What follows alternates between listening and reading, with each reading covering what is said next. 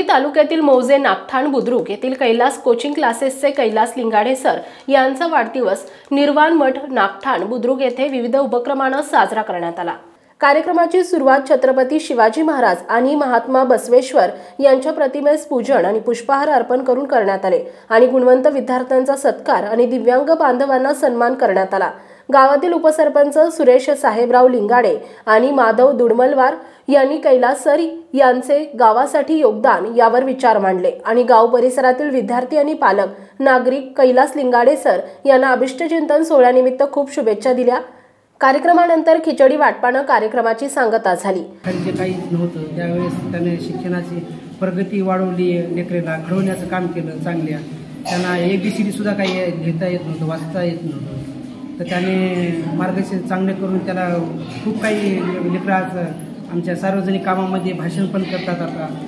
आणि इंग्लिशमध्ये बोलू शकतात. त्यामध्ये पूर्वी तुला काय होतं कशा पद्धतीची शिकवत तुझी प्रगती होती आणि आजच्या प्रगतीमध्ये काय बदल आहे? मला पूर्वी टेन्सेस जमत नव्हतं व्याकरण जमत नव्हतं. लिंगाडे सरांच्या क्लासेसमध्ये आल्यापासून मला टेन्सेस व्याकरण खूप काय जमत आहे. बरोबर. तर या माध्यमातून अभिष्टचिंत सोहळ्याच्या निमित्तानं तू काय सांगशील? अ, लिंगाडे सर खूप चांगलं शिकवितात मला या शिक्षणामध्ये खूप प्रगती झाली. पहिले आले तेव्हा मला इंग्रजीमधून नावं येत नव्हते इंग्रजी वाचता येत नव्हती. आता मला खडखड इंग्रजी वाचता येते आणि कोणतंही नाव इंग्रजीमधून काढू शकतो. एकदम आमचे विद्यार्थी हुशार झाले आहेत. आणि मी या वाढदिवसानिमित्त सगळ्यांना सांगतो की अजून आमचे विद्यार्थी हुशार व्हावं आणि आमच्या गावाची प्रगती व्हावं मोठ्या मोठ्या पदावर जावं असं मला वाटतं. निश्चितच या अभिष्टचिंतन सोहळ्याच्या निमित्तानं आपण काय सांगाल त्यांना? मी त्यांना हे सांगतो जे आमचं मागलं जे गावाचं भविष्य होतं इथे म्हणजे शिक्षणाच्या बारामध्ये एकदम खाली खाली होतं. पण ते आता त्याचं मान थोडं त्यांची फी तर खूप वाढलेली आहे.